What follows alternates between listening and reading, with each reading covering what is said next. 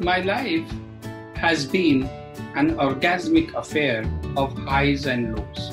In this exciting journey of life so far, I came across several individuals from whom I learned some basic principles of success, principles of living life peacefully, living the life of purpose.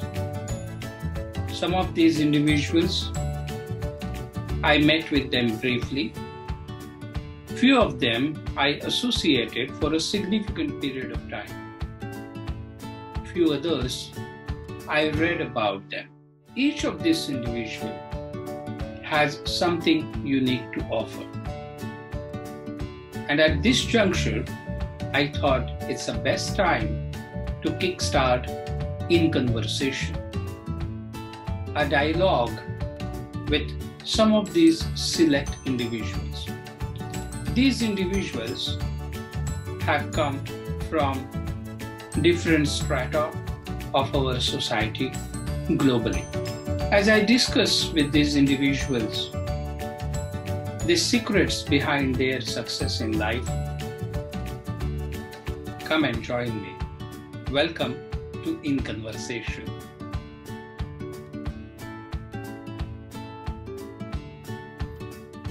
My guest today on this inaugural episode of In Conversation is Dr. Marcos Regis da Silva. Marcos and I, we knew each other for more than two decades now.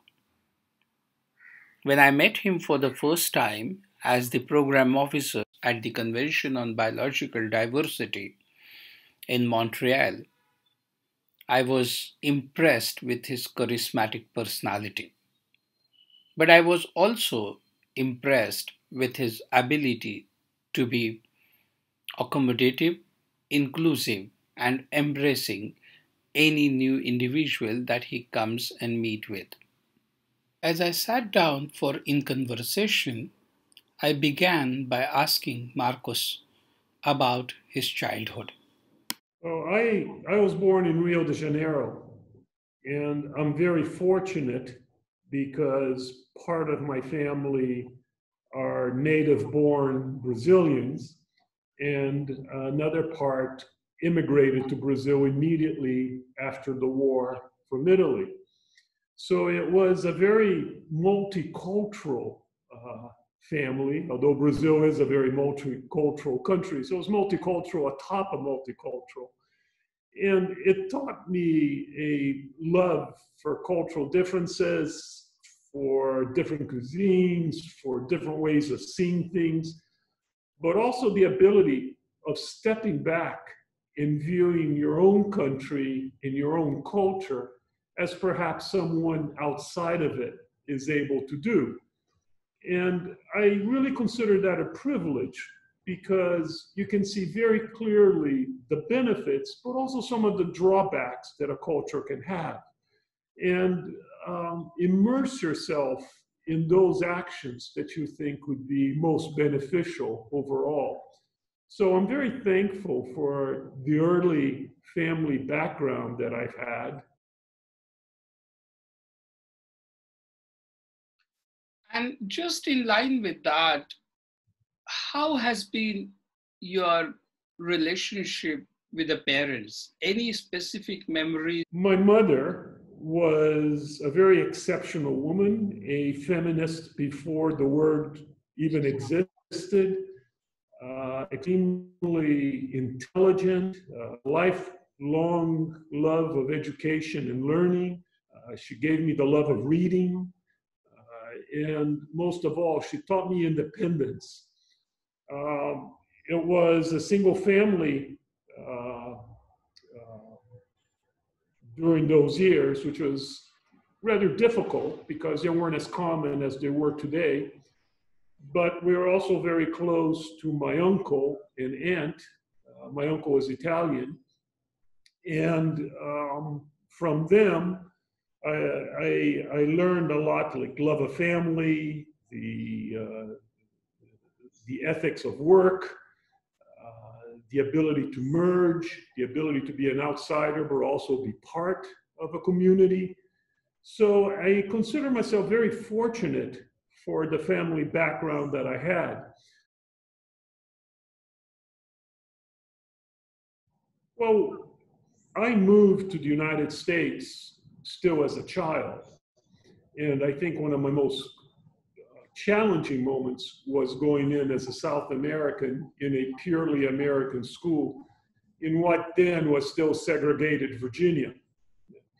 And uh, I think that taught me uh, really what bias, prejudice, uh, it, it, taught me what good, how good people can stand up in a system that is unjust and how you can fight uh, in a situation that really goes against everything that you had assumed would be.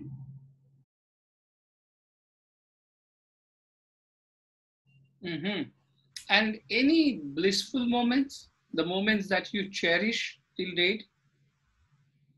Uh, I love sports, and um, I, I, think sport. I, I think sports in, in many ways shaped the way I view things. And I think the one lesson that sports have taught me, actually two lessons. One, teamwork is essential for success. Right? You have to understand your team. Uh, you have to understand your teammates, and you have to act as a team. And second, that it's okay to win. Uh, and I know that sounds funny, but I, I learned that it's all right to feel good, to win at something, to be the best at something, and that you should always strive at that within the context of your team.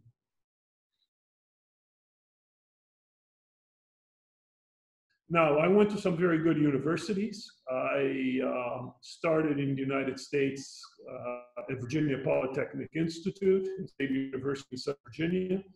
But then I moved to Canada, where I went to Concordia University and McGill University, where I got my doctorate. So these are these are very good universities, and um, uh, I'm very pleased to be able to be part of that academic setting. Mm-hmm. So you had an elementary experience in uh, Brazil, and then you came to United States of America.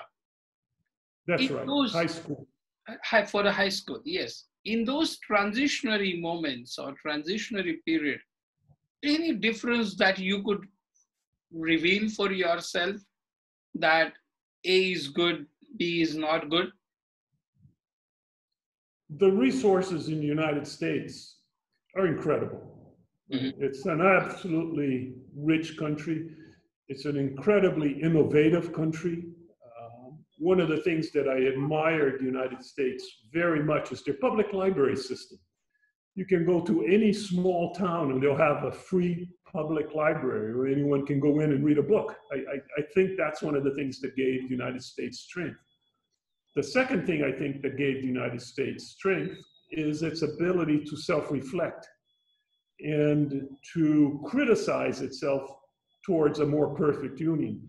I think the um, demonstrations that you see against racism is, is a manifestation of the self-reflection that the United States is undergoing right now. On the other hand, um, when I arrived in the United States, it was a segregated society, right? I lived in the southern part of the United States. My, my school was, I was the first Latino in the school. Uh, it uh, there were no blacks uh, when I first arrived. in the later years, they started to arrive. Um, they would sing Dixie in, in the classroom, the, the Southern anthem.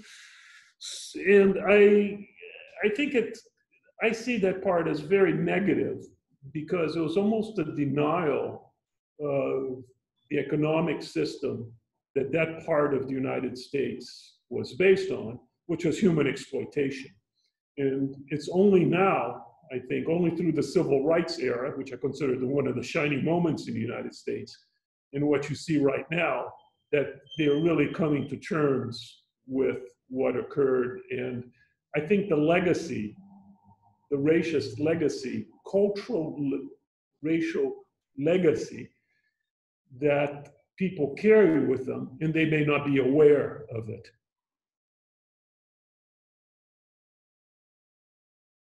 Oh, so so again, I mean, it was a huge swing, I would say, from law to cognitive science to artificial intelligence to computing. What what made it to have such a broad swing? So jumping from one discipline to another, to me, it wasn't really all that difficult.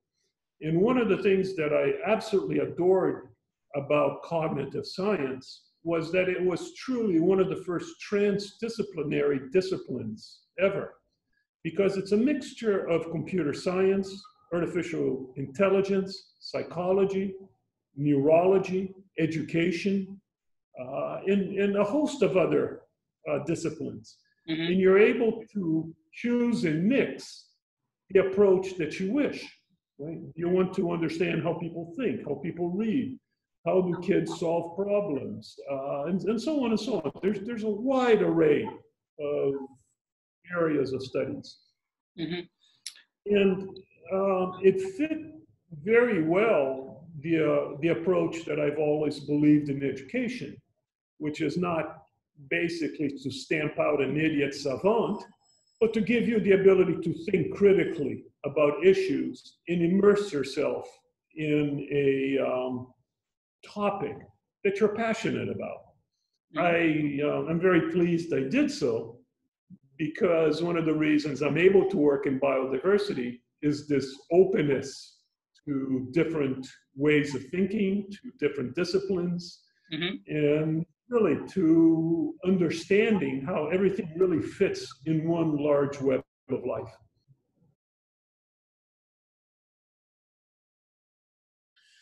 I entered the multilateral world purely by accident. I, I, was a librarian, a computer services librarian, and an adjunct professor at McGill University. And at the time, I was responsible for the internet or introducing the internet to students and to faculty, because this is, uh, you know, the mid to late 80s. People didn't know very much about it. And uh, this person entered my office and started asking me questions about networking and the internet and how to use it and so on. And I assumed it was someone from the private sector because back then the universities would sell uh, mainframe time to private companies because mainframes and computing was so expensive. We, we forget that, right? With our smartphones today.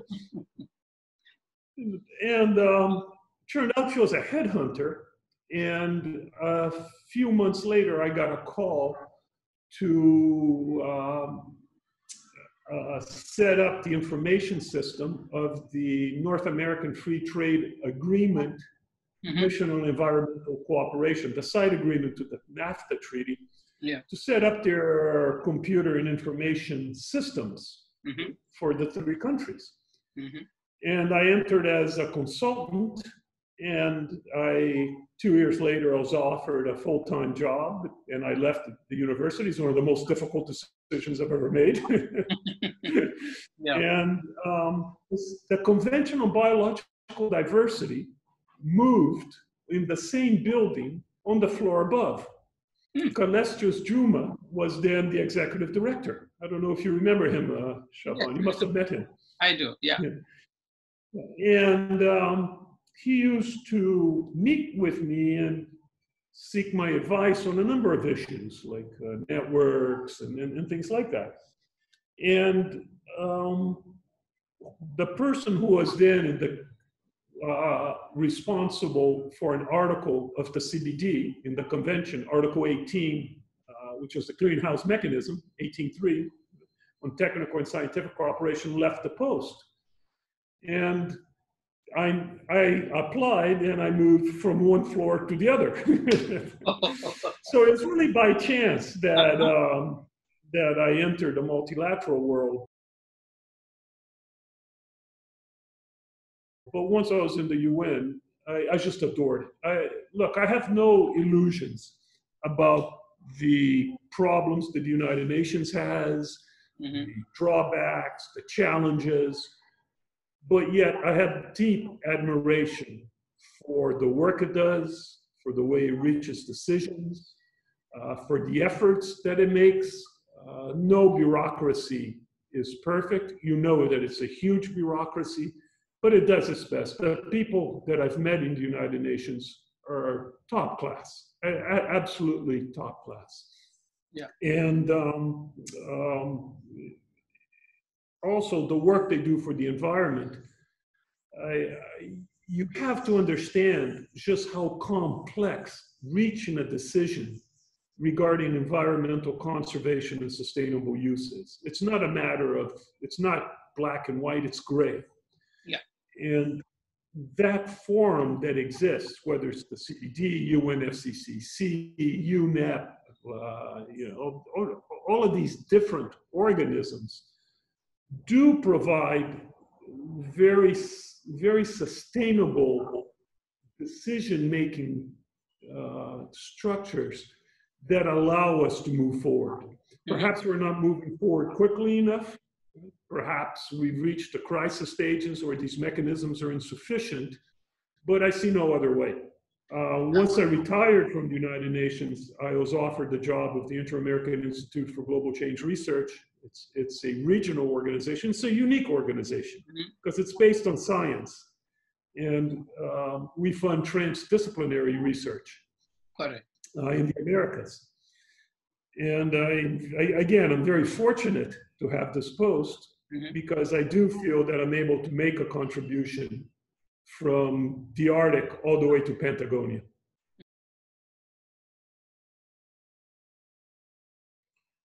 Of the courses that touched me most was a course in literature. Ever since that course, I've always tried to look at the structure. And one of the things that has taught me is that we seem to focus on differences differences between cultures, differences between people. Some people are short, some people are tall, some people are darker, some people have blonde hair, some people, and so on and so on. But if you scratch the surface, we're very much alike. And if you were to compare things, there are many more similarities than there are differences. Uh-huh. Vishwas, if we sat down, we could speak about a billion differences between the two of us. We're born in different continents. We speak different languages other than English. Uh, we've had different education. But if we start talking about the similarities, I am sure we probably share the same worldview. We probably share the same cultural underpinnings. We probably share the same love of education and learning. We probably, I think the correlations and the similarities would be endless between the two of us. And if you start searching for similarities instead of differences, it really gives you a different outlook on problem solving, on meeting challenges, on facing difficult situations, uh, difficult people, perhaps. Uh, it's it's it's uh, it's a whole new ballgame. Mm-hmm. And if I had to point in an educational, I'm going to say, an, an experience that I think I have immensely profited from was not a class in computer science, was not a class in systems, in networks, neurology, psychology. It was a class in literature, humanities. You make a very interesting point, and that that is something that people must pick up from this conversation is that don't look at the differences. Look at the similarities and then you would realize that the continental distance distance of race distance of distance of caste creed religion actually blurs down very quickly. In the core of it we are very similar. And that's exactly. what probably makes us a single species called human being it's not only about the education that shapes you. Your associations too shapes you. And the intimate association makes much stronger impact on us. And intimate not in sense of physicality but intimate in sense of uh, emotions, the feelings, uh, likings, if you could uh, ascribe that way. You're, you're absolutely right. A, a university is not so much just learning, it's an acculturation. It's an entry to a, a city of scholars. Right? And I've always considered cities mm-hmm. incredibly uh, creative environments. Like everything comes from cities uh, literature, political movements, mm-hmm. uh, civil wars, trade.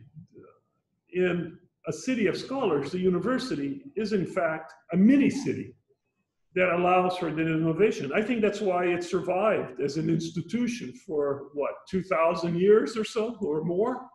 Even more, yeah. I mean, uh, the universities in India, the Nalanda or the Buddhist universities are dating back much beyond that, yeah. Or that's the, right. or the Guru. That, that is centuries old that survives. Absolutely. The Gurukul system that we have in India were actually mini universities in that sense. Yeah. So, as a young person, and we'll say, you know, uh, people enter the university at various stages of their life. But since we're speaking of me, let's say as a young person, it's a new acculturation, right? Mm-hmm. Um, it's it's uh, it's living with people of different backgrounds, uh, different ethnicities, different languages. It is trying to learn how to argue or how to bring forth a point, something you're passionate about, but within a same, certain framework of respect for others. Uh, it's, it's, it's learning to to look at the challenges that you have in life from a very critical and self aware perspective. And I think the university brings, provides very much to a person. Uh, I, I, think it's a gift for those that are able to experience this culture. Mm-hmm. Even, even if you don't graduate, I think the acculturation that you go through, the learning that you go through, the, the changes that you experience will mark you for life. Right? When I arrived at the UN, the resources they weren't limited, but they weren't as generous as you had in the university. Also, have the cutting edge resources that you had at the university, and you also had an inequitable environment where some countries had incredible resources and others uh, lacked access to technologies and being able to use them equitably. On the other hand, um, you're right, it's a very bureaucratic, very procedural, very hierarchical world, almost like an army. Mm-hmm. But if you remember our years in the informal advisory committee to the clearinghouse mechanism, we basically drafted decisions to the, to the governments, which comprise the conference of the parties, that are often adopted, which means that a low level bureaucrat like myself could have input on global decision uh, that would have to be implemented at the national level, meaning that you could influence the direction of how technologies were being world, were being used. And I think at the time, our group that we had, what we called the, the IAC, the Informal Advisory Group, mm-hmm. was really composed of an incredible number of people from the United States, from Mexico, India, uh, Belgium, uh, and, and um, a few other countries. And the vision that this small group mm-hmm. was able to articulate and be discussed at the global level, I think laid the for how bioinformatics and technologies are being used today in the biodiversity world. Mm-hmm. Uh, when, when you discuss issues like open data, open access to data, interoperability, uh, single standards, standards like the Darwin Core, uh, thing, things like that. Many of the beginnings uh, for governments to adopt mm-hmm. happened happened in the early years, uh, the late 1990s and early 2000, mm-hmm. and was because of work of people like you, mm-hmm. I think, speaking for the governments that allowed this to flower. Share with us uh, your experiences, good or bad, uh, or lessons learned from interacting with uh, multiple nationalities, people having different agendas. It's working with countries to be able to reach a compromise where everyone is comfortable and everyone loses a little bit, but everyone gains a little bit as well. That is the role of an, inter, to a, of an international civil servant, to assist countries to reach that level of dialogue. So, yes, it is very difficult. It is very challenging. Sometimes you fail. I think 623, the invasive species decision, is a failure since it didn't reach consensus. The sharks I see as a success because it did pass. Uh, uh, but you'll always have that situation. And that, and again, Vishwas, I want to emphasize that that is the role of an international civil servant is to provide governments with the space to articulate their needs to be able to reach a compromise. 95% of the time, compromise is reached. Other times, it's not. Mm-hmm. I am very disappointed that some countries are withdrawing from the multilateral process, that they believe that it's not necessary. I, I think it's a grave mistake. I, I think sooner or later they'll come back to the table, understanding that this is the mechanism that we have to make things work, as bureaucratic and hierarchical it may be. But that is the system, and those are the lessons that I've learned. First of all, be aware of your biases. I have biases just like everyone else. I believe in certain things just like everyone else. But when you approach a government, when you approach a delegate, you have to dis- disassociate yourself from those beliefs and try to understand the person's point of view with as much objectiveness as possible. It's extremely difficult, right? It's, it's not easy, but you have to have empathy for that point of view, regardless of how against it may go against your own beliefs. Second, you have to understand that that is only one point among 190. If we use the CBD as an example, I believe it's 193 countries, 194. Mm-hmm. Let's let's say 193 of 193 different viewpoints that must be weaved and articulated into something that makes sense. Mm-hmm. So again, you must be able to absorb many different viewpoints and see where the commonalities are. And again, this is another strength I think an international civil service should have is to search for the commonalities and ignore the differences because the commonalities are very often stronger than the differences. And once those are able to, to be articulated and understood, this is where countries come together and hammer out a compromise. Mm-hmm.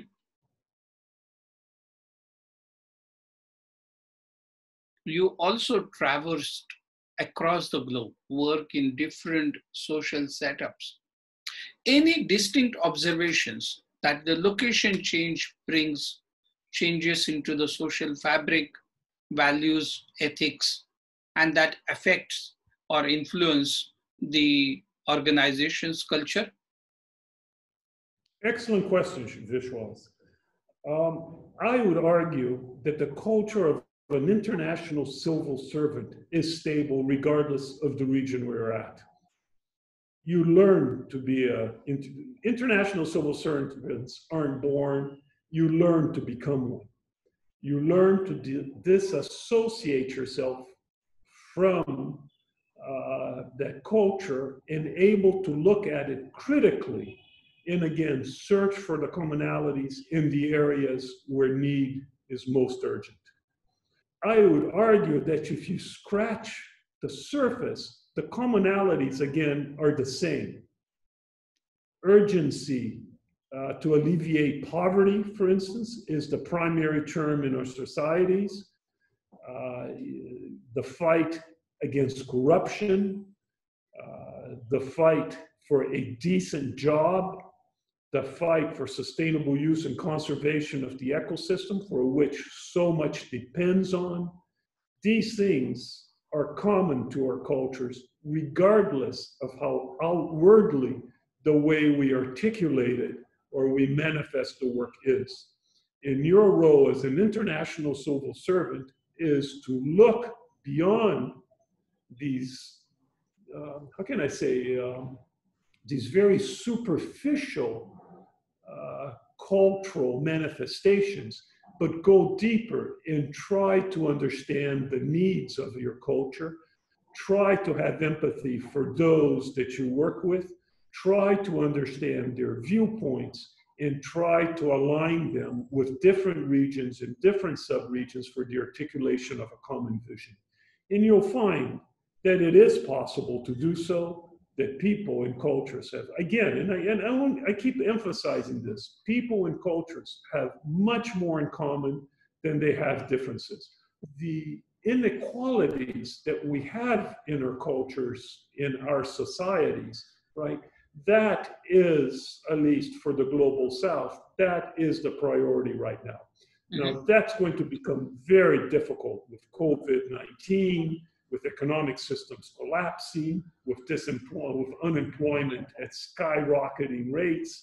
And this is where the multilateral system has to kick in and to provide mutual support.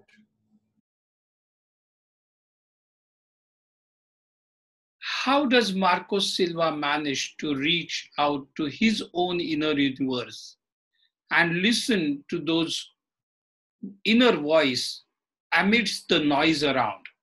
How does he do that? Vishwas, I think we have been speaking primarily of respect. Respect for other cultures, respect for others, empathy, and the ability to work together. As an individual within billions and billions of people, I think it's my self awareness of the culture that I grew in, the respect that I learned for others, and the respect for myself in the work ethic uh, towards a common good that I believe allows me to have the respect for others in the ability to assist them into articulating a common vision. So, how do you manage a rebellion within yourself vis a vis somebody who is self aware or respectful? I'll give a, a work example. Um, I used to work for the Convention on International Trade in Endangered Species, CITES. Mm-hmm. We regulate commerce in species to make sure that the species doesn't become endangered in its ecosystem.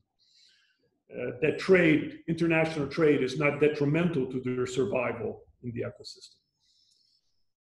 We or they have a series of permits that must be issued if trade is allowed. So if you want to take rosewood from Brazil, for example, you would need to apply to the CITES authority in Brazil.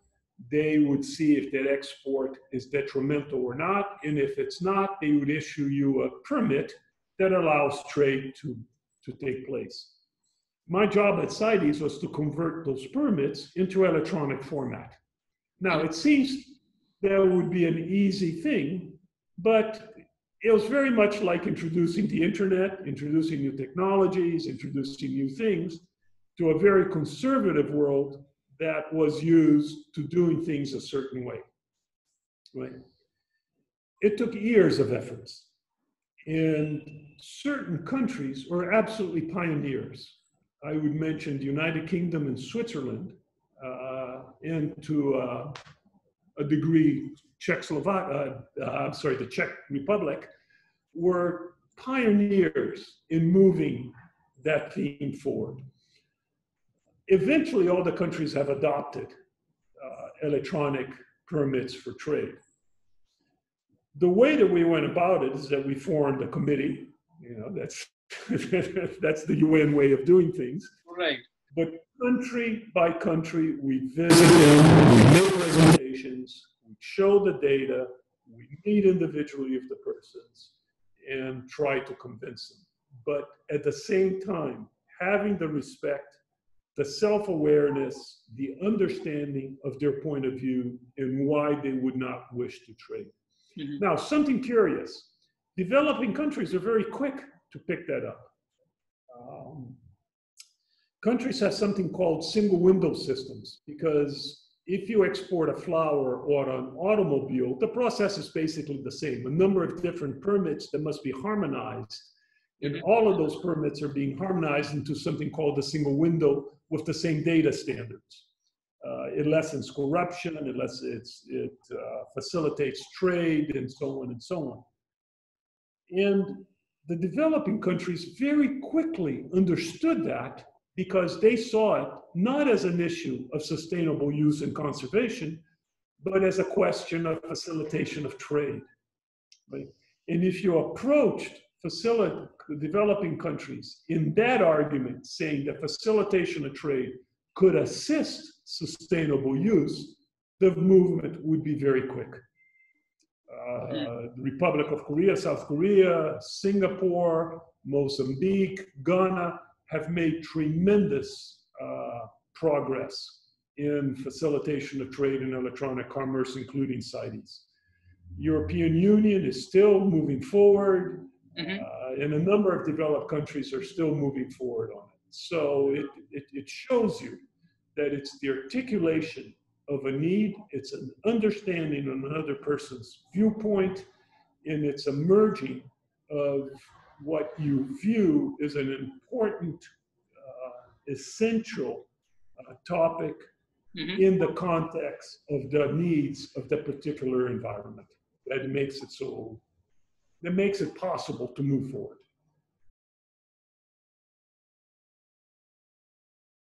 I see a lot of books in the background. How much of reading has shaped you? Let's go back to our conversation, Vishwas, where we agreed that we're born in different different continents, different languages, and different cultures, and yet if you scratch the surface, we're probably very similar in thought and action. I share with you a love of literature and books. I try to read every evening uh, at minimum of a half an hour because I have to read reports, uh, papers, email, text messages, and all of those annoying things. And yet, I consider books and literature one of the most important elements of how I, what I've become as a person. Uh, I, I believe the right to read is one of the most important rights a human being can have. Mm-hmm. I think you reach liberation through reading. I think education is a human right that everyone should have access to. We all have ideals in our life. Any individuals, either in, from public life or from your close circles, that have made an indelible impression upon you or an influence to you? I'll speak of my personal life because mm. I think well known figures, Gandhi, Martin Luther King, and, and others, uh, I think we share. Oh, I'll mention two people. One, one of my coaches, who I think was one of the most humane persons I've ever met in my life. He would help under a uh, under kids under very difficult situations learn self respect and self control, and that it's so that they could achieve what they wanted. And second, one of my professors, um, I took a class in theology, and he was a Jesuit priest. And he was one of the most open, one of the most humane in one of the funniest people I have ever met.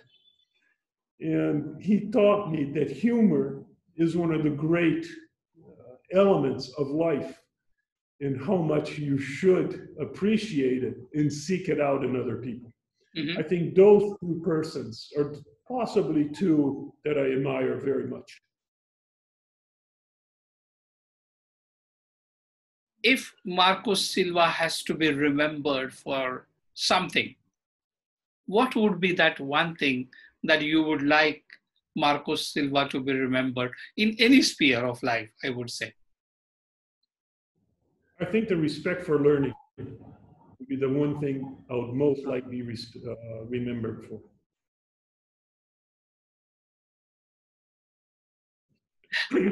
How do you spend your leisure time, if you at all get it? Uh, I read a lot. Mm-hmm. I swim a lot. Uh, I try to meet a family. I love movies. My, my favorite film that I think is timeless is, bicy- is The Bicycle Thieves by Vittorio De Sica, where uh, this, the film's very simple. A man and his son search for his stolen bike in post-war Rome. And I think that film exemplifies the human condition better than any other movie I have ever seen. Uh, that's a leisure that I love doing. Uh, I love to swim. I think meditation must be like swimming because I'll start swimming, I'll start thinking, oh, the water's too cold, I'm tired, why am I doing this? All of a sudden something clicks in. and yeah. Oh, when I wake up, I'll realize that a half an hour, 40 minutes have passed. And I'm in a total state of bliss. Mm-hmm. I, in leisure, I love speaking to people that will bring that'll challenge something I believe in, mm-hmm. that will create some sort of cognitive dissonance. What would be your key messages, two or three, to people who would like to jump into the conservation uh, research or uh, sustainable development uh, arena to start with? First of all, keep an open mind. Don't go in with preconceived ideas because it's an incredibly complex world. Second, have self awareness of your biases and your prejudices. The way you see things may not necessarily be the best solution or may, may uh, benefit from input from areas that you may not even thought of. Mm-hmm. Think of think also that solutions are not as simple as they may appear to be, and that a number of variables impinge on a final compromise. And then also that things that you never thought possible, in fact, are possible, and that you can achieve them. And lastly, don't lose faith.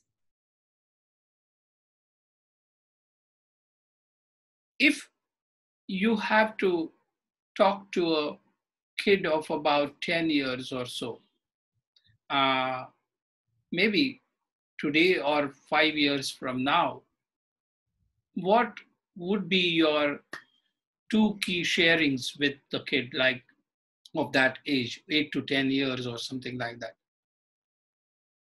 Don't ever give up. Uh huh. And look for what's best in people. I think we had an amazingly inward looking conversation. It was as if we were just uh, conversing across the table. My conversation with Marcos went on for a longer than what you could watch or listen to. And that is always a case.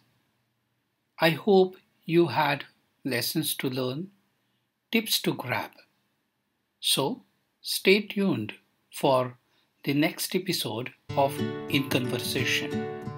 Till then, stay safe and continue to aspire